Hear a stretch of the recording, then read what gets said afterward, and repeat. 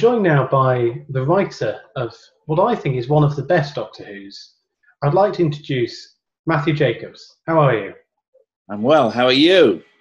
Very good, thank you. And uh, you keeping yourself busy during all this? Yes. Yes, actually, surprisingly so. Um, and I'm up early here um, to talk to you. And uh, I'm excited that people are going to be watching the show. After all these years, 24 years, gosh. Yes, it probably, you know, amongst everything you've done is a fair while ago now, but is it something that continues to come back to you? Yes, very much so. Um, uh, I mean, for a while I was sort of very separate from the whole Doctor Who community. And then when the um, uh, 50th happened and they brought um, the Eighth Doctor back briefly for the um, Night of the Doctor, I think it was, um, then um, suddenly everybody got interested again in the Eighth Doctor, and I started going to conventions, and so I've been involved in that. And in fact, we've been making a little documentary called Doctor Who Am I, um, which is a fun piece, which there'll be a link for, I think, on, on the page for this.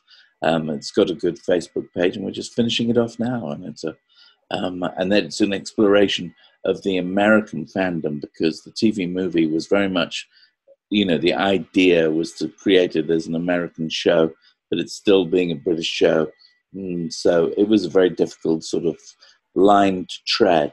Um, and uh, um, so it really made sense to make a documentary about, because there are millions of, of American Doctor Who fans and they they don't really get covered that much, except that everybody thinks they're very weird, um, and they're not. You know, there's this fantastic community there. It was a community I was a bit afraid of, to be honest, and then and then I got drawn into it, and so it, it's it's turned into a lovely little film, really about about um, the sense of community that there is in Doctor Who fandom around the world um, and it's quite unique. I mean, people forget that Doctor Who is, in fact, according to the Guinness Book of Records, the most successful um, science fiction show ever. So we forget that. But how different is fandom where you know over in the US as opposed to the UK? Because you just say it's initially a British show, but loved around the world. Yes, I think this is just my opinion.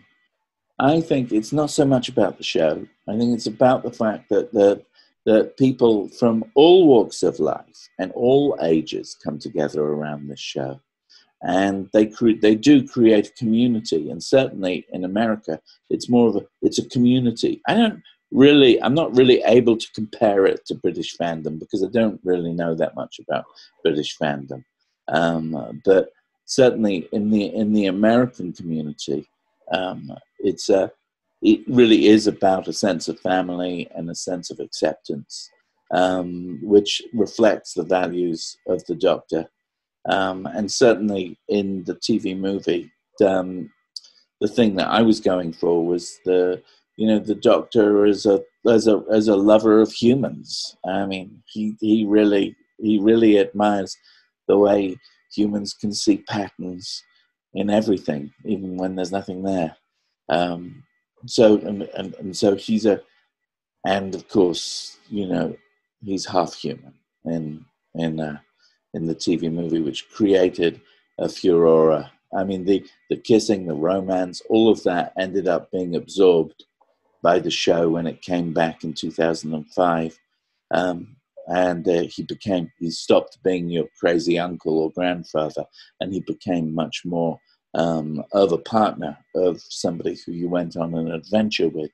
And that really did start, um, you know, it, it, had started a little bit, I think, with Davidson, and, and but, but I think it really started with, um, with, with Paul's doctor. Um, and then that was very much there when it came back. But the half human thing, it was very much a plot thing. Um, and it was also what I felt very strongly, which was that was that the, the doctor must have a lot of human in him. He's a lot of humanity in him because he's most of his adventures are based around Earth.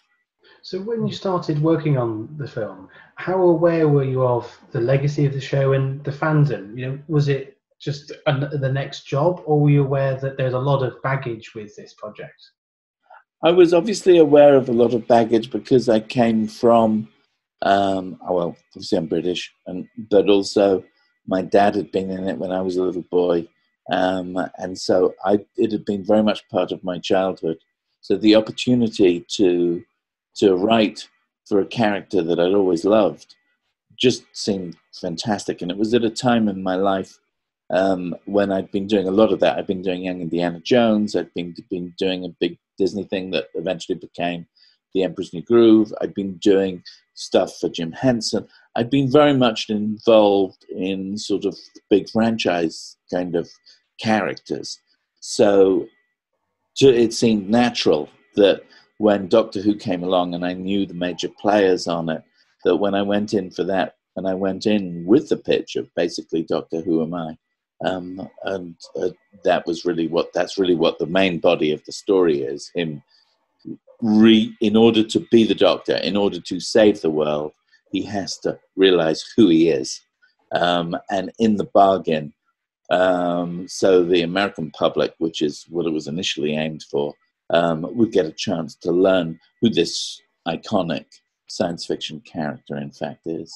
So I came to the project very aware of the size of the sort of fandom, and indeed the executive producer, Philip Segal, who was obsessed by it, and he'd been trying to get this thing made for years when and there were other writers before me, you know, who tried and failed and tried and failed.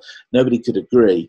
And when I managed to get everybody in the room to agree on on what this was going to be, he then had a separate meeting with me where he boldly gave me, he said, Here you are. And he gave me the key to the TARDIS. And I thought, okay, these guys are nuts.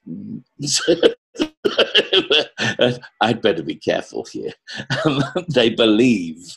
and so there was so already with the big gap that had gone on and the fact that it had become this iconic thing, already there were there was a law. There was L O R E. Um, there was a there was a whole bunch of rules connected with the doctor already by then. Um, I think, and that was so but I try I had to try and put all of that aside, and I think every writer who deals with it. Um, I mean, I don't know so much about more recent writers, but but certainly I think every writer has to put a little bit aside um, and just focus on what it is about the Doctor that they really love and can identify with, um, and uh, so that so that there's some passion behind it, so that it's not too calculated. Um, and because I think when it feels calculated, audiences know that people respond well when they feel like there's a passionate story there.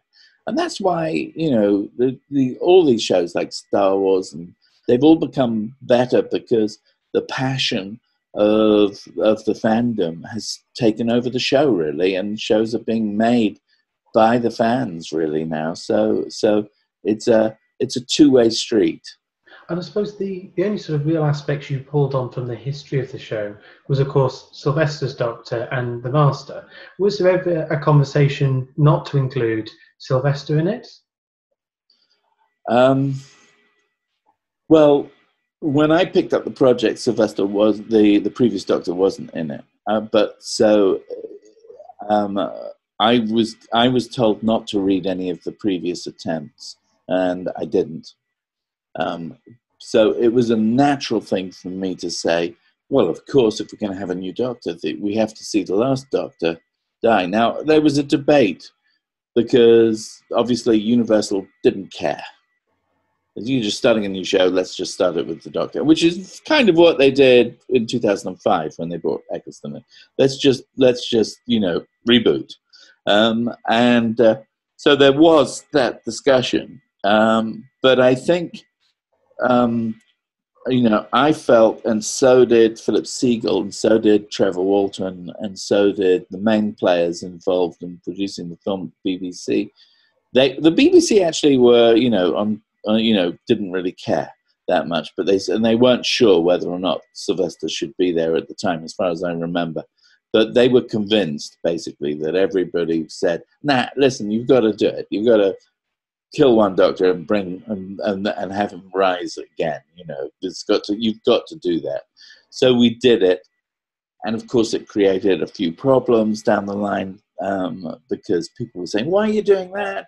And then at one point you have Universal saying, uh, saying, "We don't really understand what's going on in this movie. You need a voiceover at the beginning." This was in post production, so I ended up feeling like feeling like the newscaster in in a um, network, you know, being hauled into a room with the head of Universal sitting in the dark saying, you need a voiceover to say what's going on at the beginning. And we ended up having to write that voiceover, which I've always, it always pisses me. I almost block my ears when I listen it because it's giving away too much and it's confusing things at the beginning. It would have been better just to, as the original script, just go into it. But that's all Monday morning quarterbacking, as they say here. It's it's not really. It, it is what it is. I don't mind it now. You know what I mean? It, you you you go along with it. It's, but it is very much, um, you know, a question. Do you have? Do you bring the old Doctor into play when you revive a show? Um, do you bring it? Do you bring it back? And then, of course, Big Finish. After we done the movie and Big Finish picked up the show and they really carried on with um, with Paul's Doctor. They did a wonderful job. I mean, and and Paul's Doctor stayed alive all the way through. He's still alive, really, on Big Finish. And, and so it's almost like another dimension where you can follow other doctors and other masters.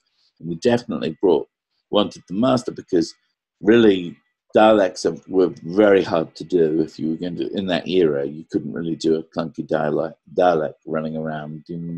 It just didn't work. Um, so it was better to have the master, and it also gave an opportunity for us to, just in simple production terms, do some um, good American casting, so that there would be an American name there.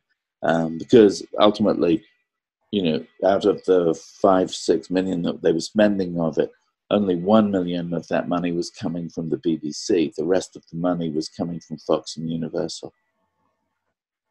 Because again, in terms of Big Finish, it's worth mentioning that this week Eric Roberts has been announced as having his own Big Finish series. So it's a, another yes. character which has continued beyond the film. Call me master. When I first heard about it, I went, "How are they, how are they going to do that?" Because he comes to life as an you know ambulance um, man, um, and then he's sucked into a vortex. So I thought to myself, well, could there be some adventure that happens between him and EG? You know, while they're waiting for the doctor to come to the TARDIS, um, could they go off somewhere else and come back? Um, and then I and then I think I've read that basically he gets rescued from his his um, you know, demise where he gets sucked into the vortex, rather like the Wicked Witch of the West. Um, and and they, he's they, yeah, they rescue him and he goes off on a parallel adventure. Um, I think it's great because Eric's fantastic, um, and I think people have been unfair about that master. To be honest, I, that master, uh, the master we were going for, was really fun Do you know what I mean? He was he was it was slightly it was slightly more pantomime. Um, and and let's face it, at the end of the day, he's a piece of goo um, that comes out. So yes, there's a. I wonder what they're going to do with him. I think they'll they'll they'll. Um, I think they'll probably do a great job. Uh, Eric Roberts was key in getting an American name in the sort of forefront of it. When taking a show that is very British. You know, London buses are in it. You know, England is part of the very nature of the show. How do you retain that, but also make it appeal to an American audience?